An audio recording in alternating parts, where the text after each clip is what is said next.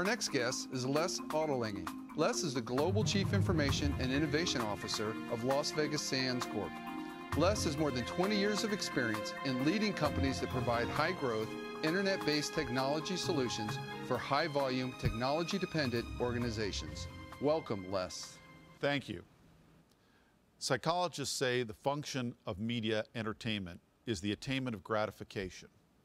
No other results or measurable benefit are usually expected from media entertainment.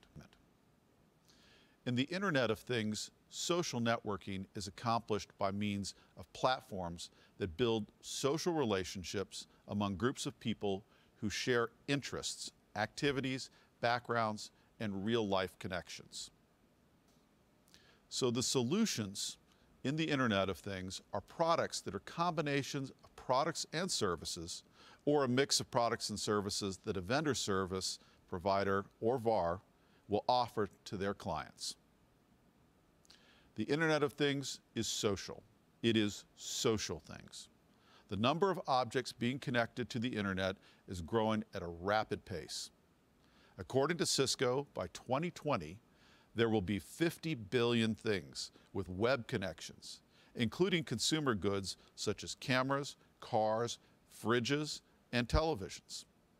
The socialization of each one of these objects in terms of data will provide more accurate contextual information which anybody can use who's providing these services to the consumer.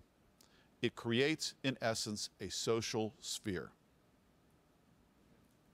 The industry is doing so many amazing things, and you can see the changes in consumer behavior already. But that will continue to grow. And as the number of devices grow exponentially, so will the behaviors and the interconnections and the way things of value are presented through the internet. I can't wait to see the next thing in the Internet of Things.